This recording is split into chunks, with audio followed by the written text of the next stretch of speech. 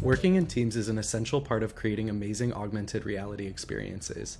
In this video, we'll demonstrate how to get started with 8th Wall source control. Multiple developers can work on the same project at the same time using the 8th Wall cloud editor, enabling rapid development and efficient workflows. The 8th Wall cloud editor uses a source control system similar to other popular source control systems, such as Git. Today, I'm working together with my partner Ian to update a sample project. Changes made in the Cloud Editor are only reflected locally in the user account they are made in. To demonstrate a local change, I'll update the color of this box by changing the hex color right here. Then I'll click Save and Build. Notice that the changes will show locally on my project, but not in my partner's. If you look here on the right, you'll see this purple box will turn to the hex color I specified, which is a blue color.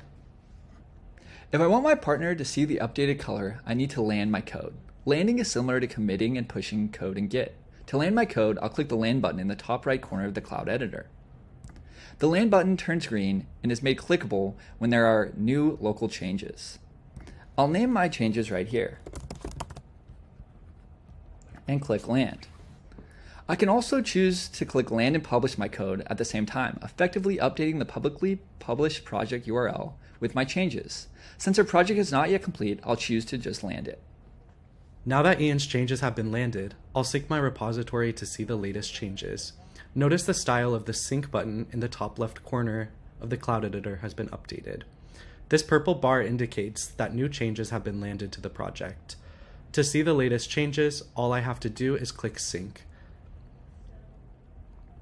I can now save and build to test the newest version of our project.